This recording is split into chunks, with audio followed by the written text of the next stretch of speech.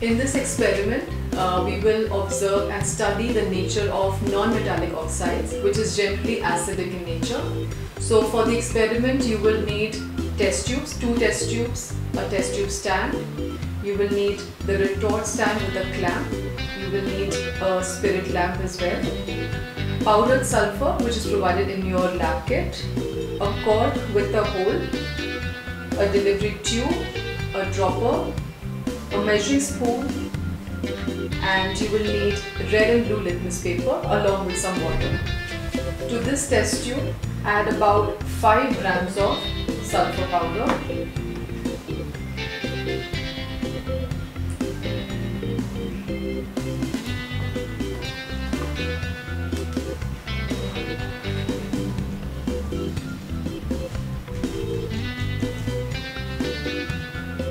Then Take the cork with the hole and the delivery tube and carefully place it inside.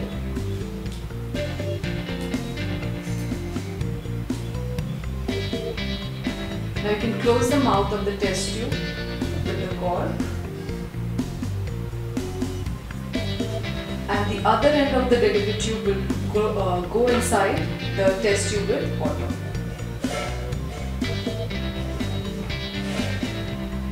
Now light the spirit lamp and allow the sulfur powder to heat.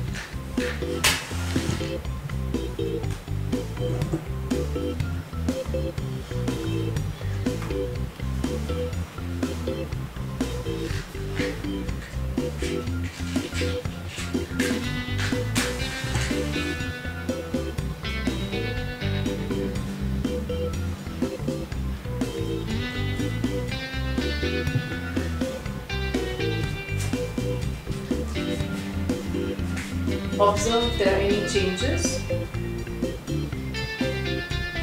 You will see that the sulfur powder soon is getting heated and the fumes are going to get liberated through this and through the delivery tube they will be passed into the test tube that has water and the gas that is being liberated is of sulfur dioxide as sulfur powder reacts with oxygen in the air and it will then react with the water.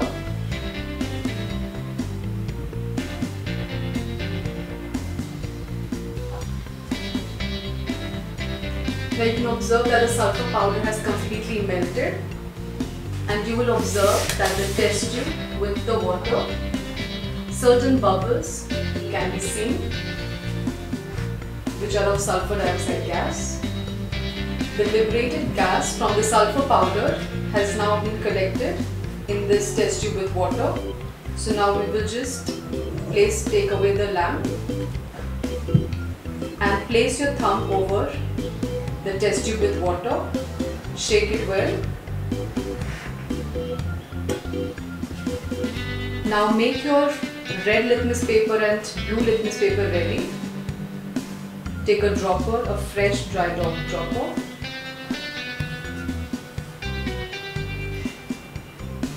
And gently over the blue litmus paper, place about a drop of that solution which you have taken from the water test tube.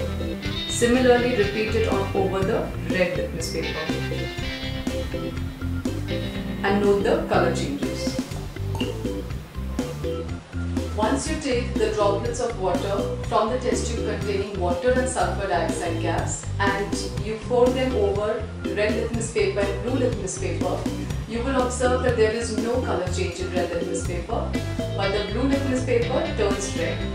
This happens because the sulfur dioxide gas, which has liberated with the reaction of sulfur and oxygen in the air, it gets into the test tube with water and changes into sulfurous acid. This sulfurous acid is acidic in nature and that is what turns the blue litmus paper red.